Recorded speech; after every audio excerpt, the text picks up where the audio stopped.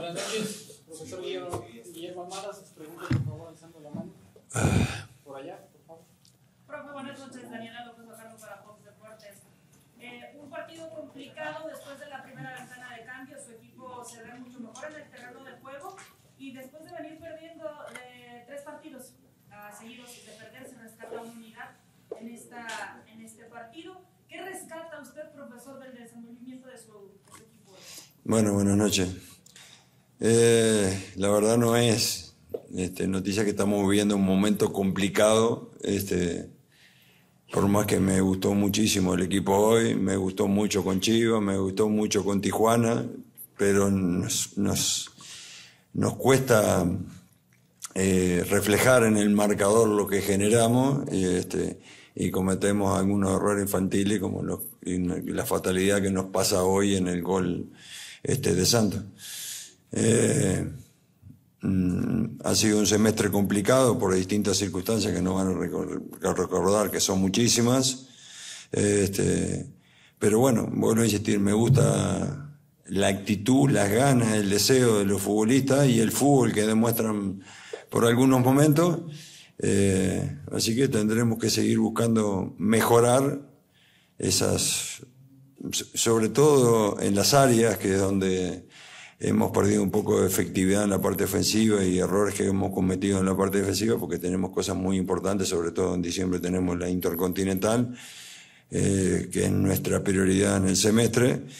Y bueno, eh, pensar en el partido de Tigres que va a ser tan duro y tan complicado como lo fue hoy. Pero vuelvo a insistir, en líneas generales me gustó el equipo. Este, nos quedamos con 10 después porque se lesionó Mena y ya no teníamos más cambio en los últimos 15, 20 minutos.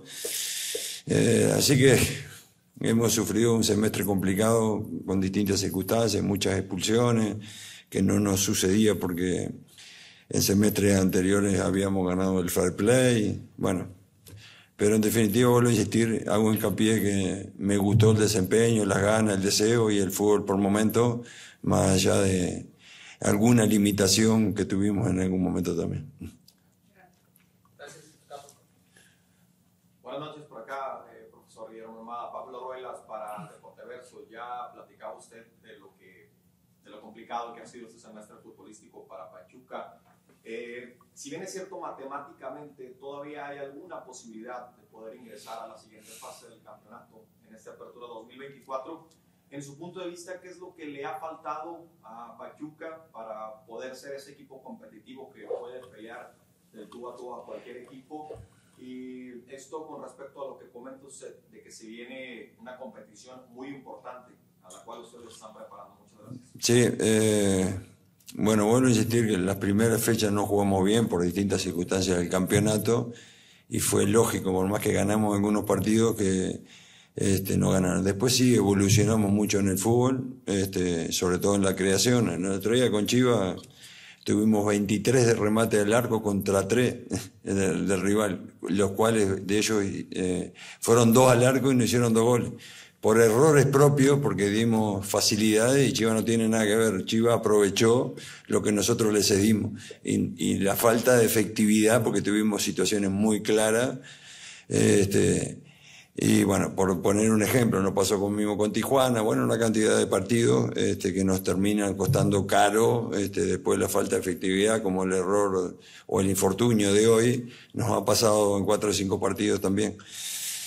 Así que, bueno, insistir, lo que precisamos es, es, seguir con el volumen de juego que estamos generando, pero efectividad en las áreas, ¿no? Eh, ahí donde hemos fallado, este, en, en la definición y, y, en algunos errores que le hemos dado a los, rivales que lo han aprovechado este, de buena manera eh, a favor de ellos y en contra de nosotros. Gracias. Una más, por favor. Hola, profesor. Buenas noches. Ana Barrientos para Poder Deportes. Profesor, pregúntale, eh, ¿qué es lo que siente usted que le falta a este Pachuca para que pueda volver a la senda de la victoria? sabiendo que viene, como usted lo menciona, la, la Copa Y vienen rivales difíciles como lo que es, lo, lo que es Tigres. Bueno, vuelvo a insistir, en la efectividad y que sigamos evolucionando en el volumen futbolístico, ¿no? Este, eh, si no tenemos, eh, uno como entrenador siempre digo lo mismo, puede trabajar hasta el momento de la definición, que también las trabaja, porque después el que define y hace el gol es el futbolista. Este, uno no puede entrar afuera y empujarla, ¿no? Eh, y, y, también algunos errores que hemos cometido, que los trabajamos, este, y siempre les digo lo mismo a los futbolistas, cualquier cosa que suceda en el partido y no la trabajemos, con el, el, perfecto derecho de decirle que es culpa del entrenador porque no lo trabajaron.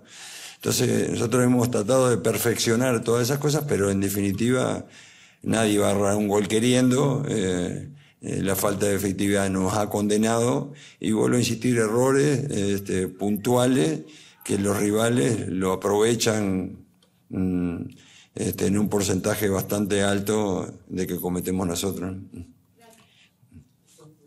Gracias. Nos vemos.